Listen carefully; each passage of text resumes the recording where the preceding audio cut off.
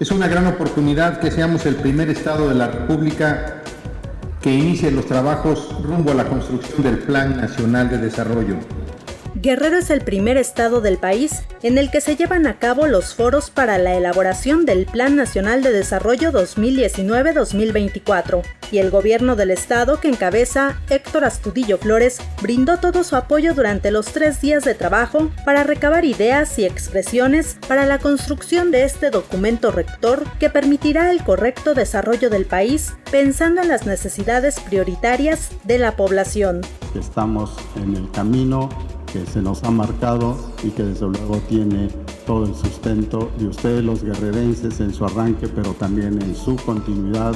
Creemos que la consulta ciudadana es la mejor ruta para construir políticas públicas que respondan a las necesidades e intereses de todos los mexicanos y muy especialmente de los guerrerenses. Gobierno del Estado.